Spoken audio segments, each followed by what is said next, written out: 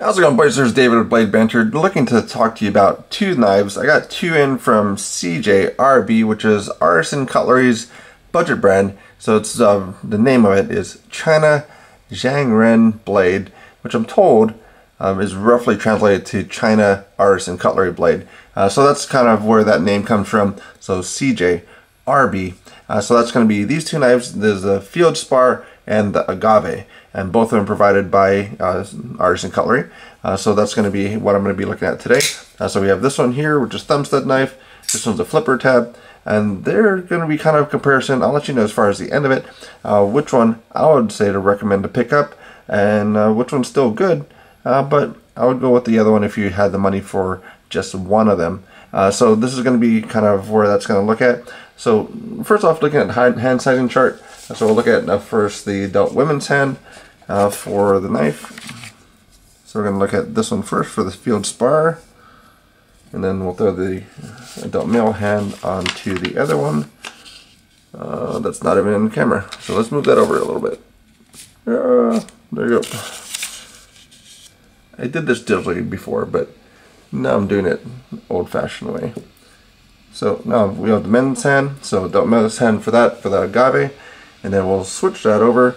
So women's hand, agave, male's hand uh, for uh, the Feldspar. And you can print that out in the description. So if you want to take a look at that, see what that's going to be in your hand, kind of matched up, see what it looks like.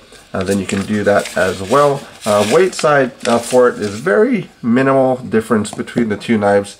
Uh, so between the two knives, so you're looking at 4.1 ounces on the Feldspar, 3.9 ounces on the agave. Uh, so what is that? Uh, basically for this channel, uh, we're going to have basically the standardization as far as, so quarters. So this is going to be 20 quarters and one penny for the Feldspar.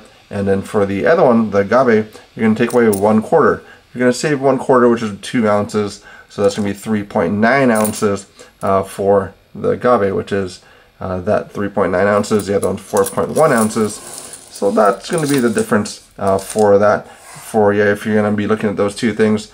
Will you notice a difference if you're carrying one of them? Absolutely not, uh, but just for your knowledge as far as what that's going to be. So price-wise, $37.95 uh, for this one, uh, kind of the going rate for it. MSRP is $53.12 and then $33.95 for this one. $47.95 for MSRP. They have a few different uh, handle materials to choose from, so you can kind of figure out uh, what you want you want to go with on that. Uh, pull weight uh, for this one uh, came out to be 2 pounds 14.9, so almost 3 pounds of pull. I find that to be a little bit high for a thumb stud knife uh, because of the way that it operates.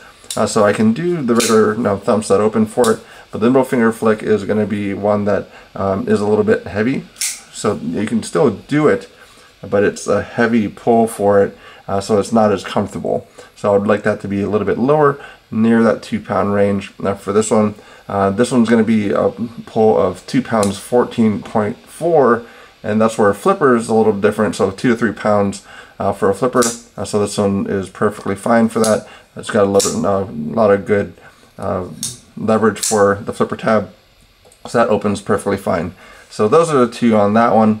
And then uh, this one has a lot more ways to open it. So you're going to have, again, those that thumb deployment for it, the middle finger deployment.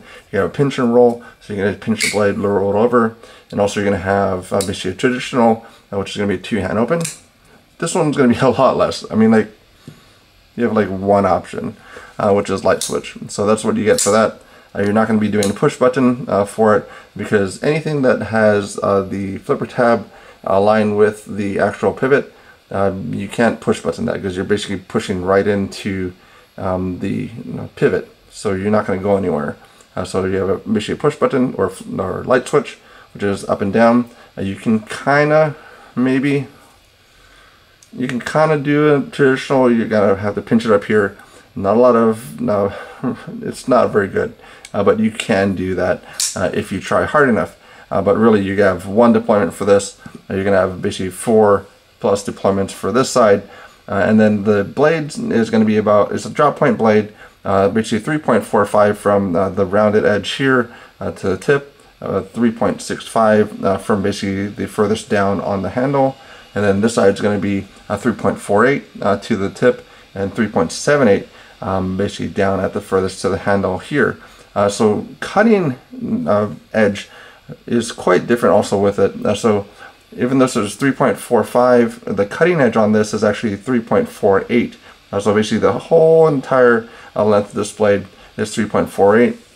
This one, uh, you have 3.48 for the blade, but because of this fairly small front uh, you get 3.1 inches for the cutting edge. so it still can be used. It's really, I have kind of thinner fingers, and this is um, pretty much the smallest I would want to go because um, that's not a big choil. Uh, so that's where you have to kind of be careful with that. Um, not really necessary. They could have just went without it, um, got a little bit more cutting edge for it. But that's the style and that's the design that they want to go with. So uh, flat ground on both, D2 on both.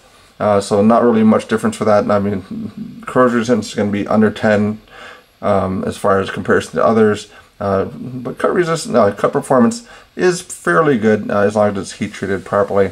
Uh, so it's that's where it's still a popular blade option uh, for folks out there, but eh, it's kind of standard stuff. Uh, for beyond edge thicknesses, about seven sheets of paper, six sheets of paper on this side, so 22 thousandths, 20, 27 thousandths, 22 thousandths, and then the ramp side, both about the same as well. So ramp is about the from the uh, basically when the lock is um, disengaged to when that actual detent ball is on the handle. It comes out at about 24 degrees. So 20 degrees is really good, 30 degrees is not bad, 4 degrees and above, that's a lot. Uh, so you probably uh, stay away from those. Uh, but blade stock, 3.14 millimeters, 3.16 millimeters. So nominal, not really any di big difference for that. Both of them right hand tip up and tip, oh, basically right hand, left hand tip up. Again, reason for that is basically you want the blade on the seam of your pocket. So you're going to have the pocket seam uh, for the right hand, or you're going to flip it around, put the clip on this side, and it's going to be on this side for uh, left hand carry. So that's going to be how that operates.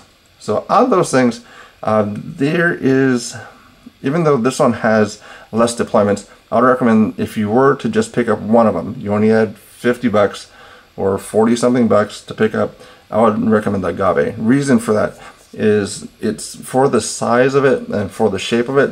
When I first saw this, I, would, I was thinking that's a weird handle shape. Uh, but once I got it in hand, uh, this actually feels uh, very good. It, it kind of rounds out with this ball of my um, palm there, and it's very comfortable in hand. Uh, so that's where I feel it's really good for that. And also, um, even the lock bar release uh, feels light enough where it's uh, comfortable.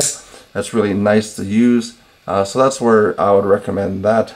So out of these two for CJRB, they're always pretty um, good for how they're operating. Uh, these are a little bit loose for the pivot, so I tighten it up, and then they're fine for uh, kind of the play on that. But those are two for that. But that's about all I have to say about those today.